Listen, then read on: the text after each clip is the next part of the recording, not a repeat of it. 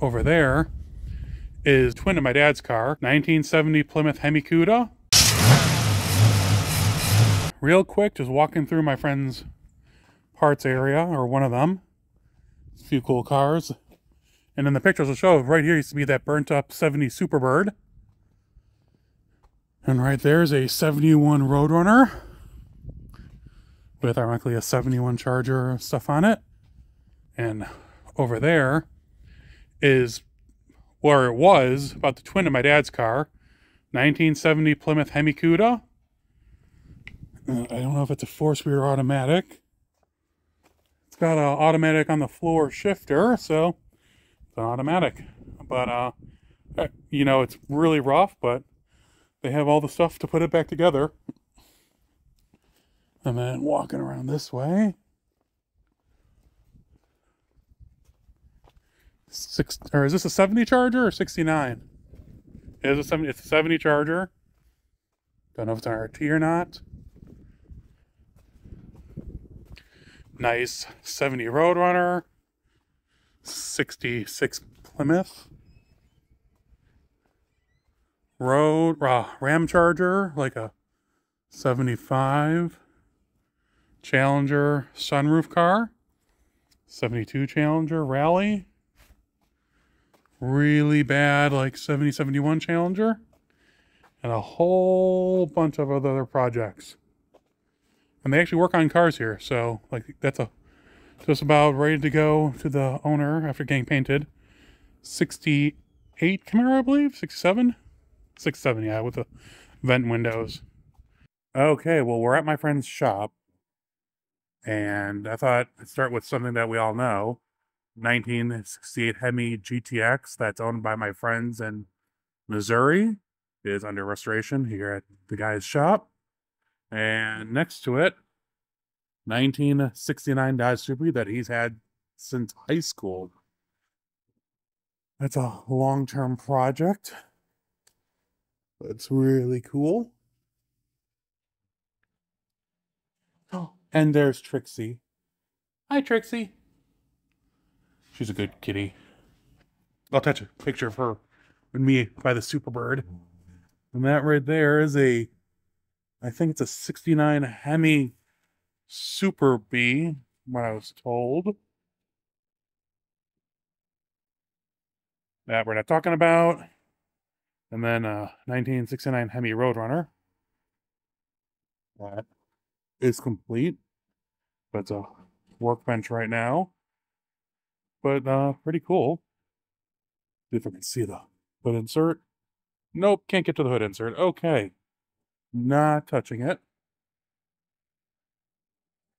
And then we got cool Dodge truck.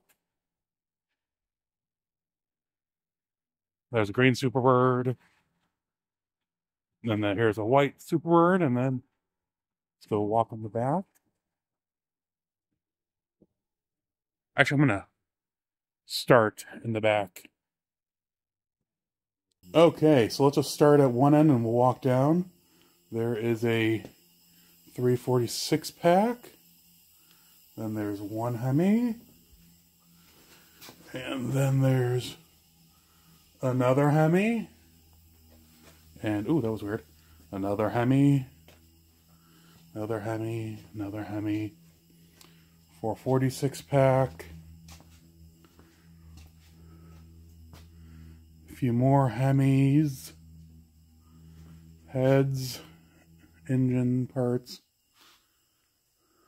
More cool stuff. Well, unfortunately, my video camera died and I never got anything from the rest of the building like this 69 Super Bee with a mod top, 383 automatic car or the Hemis that were in the other building or all this stuff. I don't know what happened. Unfortunately, the video doesn't exist. Like going up into their store, they have a storage area above the main building that you're seeing here. Well, actually, not this. This is the engines that are on the engine side of the building. You can see most of those are Hemis or six packs or 346 packs extra rear end, a lot of cool stuff in that lower part. And then we walked around the corner and went upstairs into where their main storage for the cars that are under restoration at that moment were, was. And there's everything upstairs. You can see tail lights, grills, air cleaners. And you, if you thought that other building in the last video was packed, you can see this is literally from one end to the other, just full of stuff. And you're walking these narrow aisles just trying to avoid tripping over, you know, six pack stuff. And that was just the first main building for restoration. This is the second. This is where the primary repair work goes on. This is where a lot of the cars are prepped and prepared. That's an original pink 70 Challenger TA. That's a white 70 Challenger RT. White car green stripe. That's a 71 CUDA. 71 GTX. These cars are all the ones that are being put together to eventually move over to the other shop for finalization. This is where the paint booth is. You'll see one of the cars that was in there. This is where the frame jig is. So the cars that you've seen over the last few episodes, that's a Hemi Cuda you'll see. That's a real true legit BS23 ROB Hemi Cuda. All the cars that you've seen in the last, you know, 12 videos they're going to get done one way or the other, either by these guys or by someone else. And these are the guard cats and the guard pug and the guard chickens. So don't worry that these cars are sitting out there and rotting away. Something will happen. They will not deteriorate to nothing, fortunately enough. Hey everyone, hope you enjoyed the video from my friend's farm. And all those cars, wow, and I can't believe that I forgot to film one of the last buildings.